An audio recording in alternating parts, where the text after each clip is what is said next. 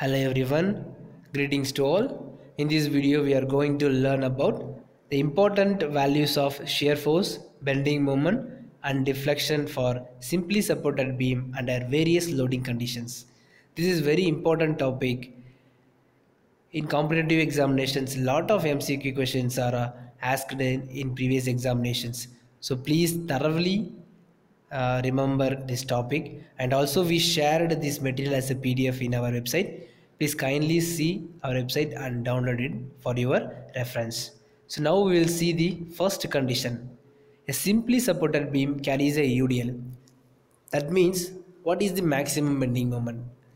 The maximum bending moment is wl square by 8 and also at what distance they occur? It occur at center so for a simply supported beam carries a UDL means the maximum bending moment will occur at center only. Its value is WL square by 8. And next is and what is the deflection of a simply supported beam carries a UDL throughout its length. Its value is 5 WL power 4 divided by 384 EI. Please, please, please, you remember this one the maximum deflection value 5WL power 4 divided by 384 EI because don't confuse with other deflection values. And also it occurs at center only. The reactions are R equal to WL by 2. So these three are important values. For a simply supported beam carries a UDL throughout the length means its maximum bending moment value is WL square by 8 and its maximum deflection value is W 5WL power 4 divided by 384 EI. The shear force values that is reactions at both ends are equal to WL by 2. Now we, we will move to the next condition that is a simply supported beam carries a triangle load that is at support R1 it, its value is 0 and at support R2 the load value is W as shown in the figure 5. So in this case what is the maximum bending moment value? The bending moment value is 2W divided by 9 root 3.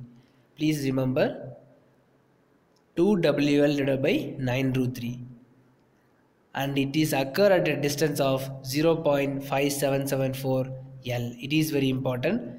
The maximum bending moment will occur at, at 0.5774 L. For simply supported beam carries a load increasing uniformly to one end. And also the maximum deflection value is 0.1304 WL cubed by EI. It occurs at a distance of 0.5193 L. The reactions are R1 equal to W by 3 at 0 N. That is it carries a 0 load. And the reactions are W by 3 and it carries a W means at end its reactions are 2 equal to 2W divided by 3. So in this case the maximum bending moment is 2W divided by 9 root 3 and, uh, and it occur at a distance of 0.5774 L or L by root 3 and also the maximum deflection value is 0.1304 WL cubed by EI. It is occurred at a distance of 0.5193 L. It is a triangle load. At one end, its value, its load value is zero, and at, at the other end is its load value is W. Now we will now we will move to the next condition. That is, a simply supported beam carries a load increasing uniformly to center. It is also one of a triangle load. You can see in the figure 6. So in this case, what is the maximum bending moment? The maximum bending moment is WL divided by 6 and also it occur at center. The maximum deflection value is 5WL cube divided by 60 EI. It is occurred at center. The shear force values or the reactions at supports are equal to W by 2. So these three values are very very important. The maximum bending moment value is W by 6, WL by 6 and the maximum deflection value is WL cubed by 60 EI. Now we will move to the next condition. A simply supported beam carries a concentrated load at center. Please remember whenever a single concentrated load acts on a simply supported beam means that point only carries a maximum bending moment and the maximum deflection value. So in this case it carries a concentrated load at center p. The maximum bending moment is pl divided by 4 and the maximum deflection value is pl cubed divided by 48 ei the maximum bending moment and shear force values are occurred at center. The reactions at both ends equal to P by 2. Now we will move to the next condition. Simply supported beam carries a concentrated load at any point that is shown in the figure 8. The figure 8, the simply supported beam carries a point load at a distance of A from R1 and a distance of B from R2. So in this case, what is the value of maximum bending moment? The maximum bending moment value is PAB divided by L and the maximum deflection value is PA square B square divided by 3EIL. The reactions at R1 equal to PB by L and the reactions R2 equal to PA by L.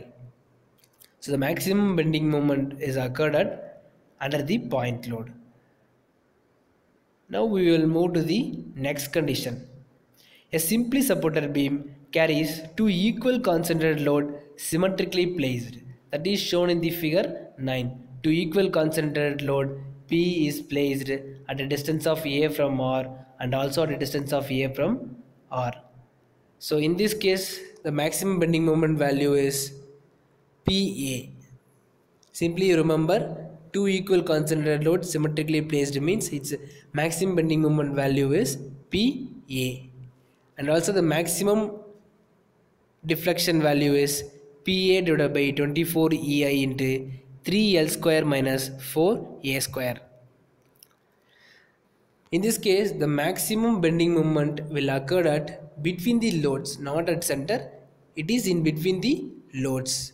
The reactions at both ends are equal to V equal to P. Thanks for watching this video. I think this is very useful for uh, our kind of examinations and also for your uh, civil engineering preparations. Please download this material as a PDF in our website and we will see in another video. Thank you.